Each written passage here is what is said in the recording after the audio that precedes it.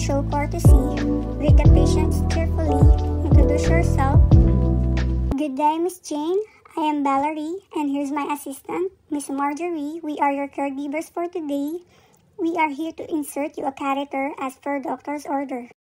Fold the blanket downward.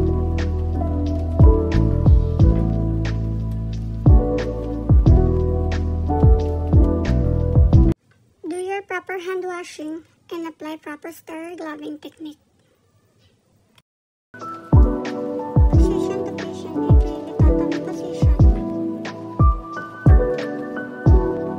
Expose the vulva, remove first the diaphragm and scrape any fecal materials.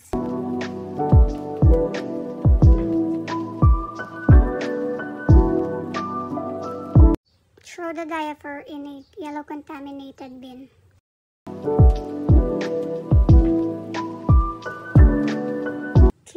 Private part using a cotton ball with betadine. Gently spread the labia and expose the urethral meatus and clean from the inner to outer in a circular motion for three times. The assistant will open the outer packaging since the glove is sterile. Get the catheter using your hand.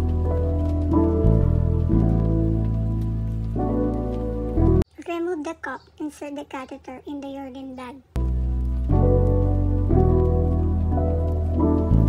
Put a small amount of KY jelly for easy insertion.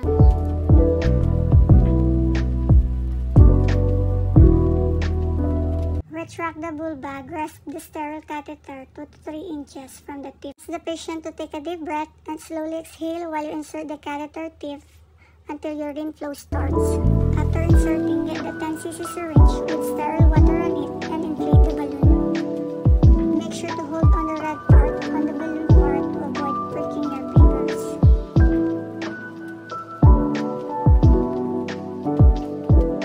After successfully inserting the catheter, straighten the legs first before tapping it with Micropore.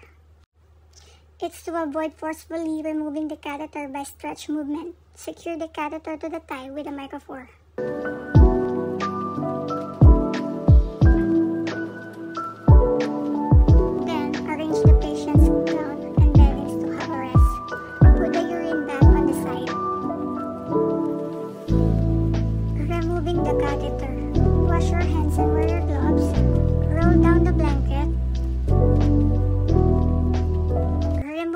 The tape one by one.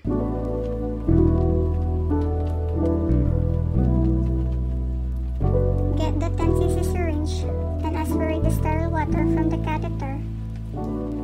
Make sure to hold on the hard part of the catheter for easily inserting the needle and safety purposes.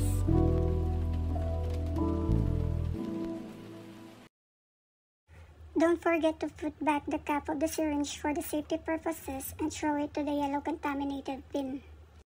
Tell your patient at the count of three she will breathe through her mouth.